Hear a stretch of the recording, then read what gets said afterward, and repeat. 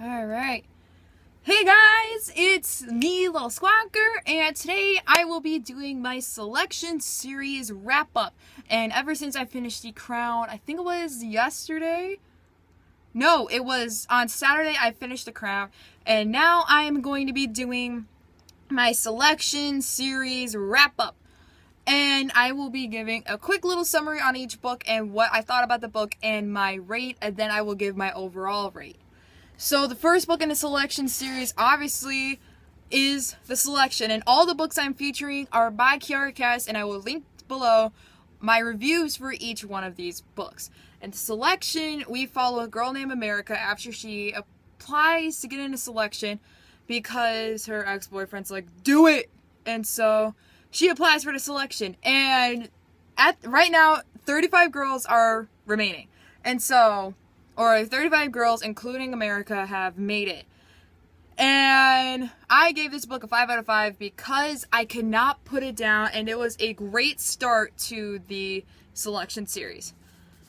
The next book in the selection series is The Elite, and this is the second book, and now we are down to the remaining six girls, and now it gets even more gut wrenching because it's six girls. And I give this book a 2.75 out of 5 stars because it was a whirlwind of a mess. And you could kindly watch my 10 minute rant about it. So.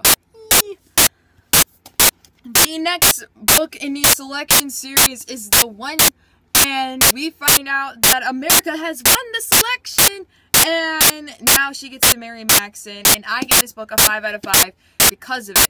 Now, here's where things get a little bit tricky. And so the first three books we have are the perspectives of America Singer, and now we have the next two books, which are The Heir and The Crown, feature the perspective of America and Maxon's daughter, Evelyn.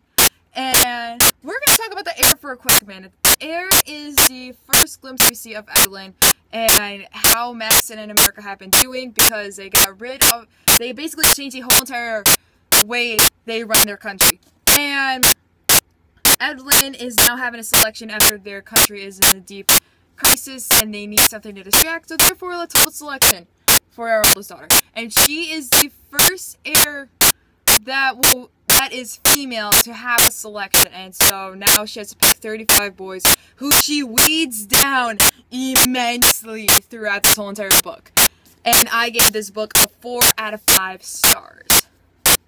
And the last book in the selection series is The Crown, and it is the shortest book and the last book of the selection series. And we find out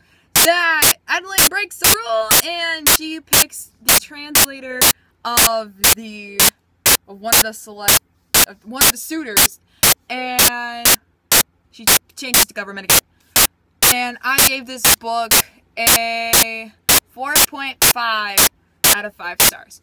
So, when I did my math before shooting this video, um, it came out to be like 16 point something, and then I divided it by 5, aka 5 bucks. And it came out to be 4.25, so that is my overall rating for the selection series. And the selection series was a very fun read to get through. I, it's one of my favorite series personally and I am so very happy I got to join join a little along on the ride.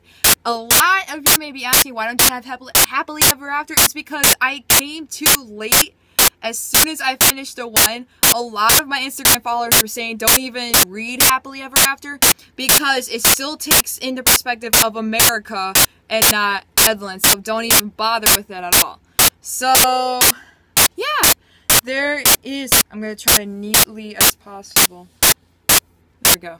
So yeah, that's my little review on the selection series written by Kiera Cass. And it was a very fun read to get through. I am so happy that I finally decided to read it in December. And I finished it in July. So I am very happy that I got a chance to read it. So yeah. Um, comment below if you want me to do several reviews of series and then I'll do a series wrap up. I can possibly do Divergent, Hunger Games, and yeah. And when I do finish the Mortal Instrument series, I will also give my wrap up of that series as well. So yeah. Thank you so much for watching. Be sure to like this video and subscribe if you're new to my channel. I give book reviews and I also do book tags and other fun videos just to broaden my horizons. So I'll see you guys next time. Be sure to like, subscribe, and yeah, follow me on my social media.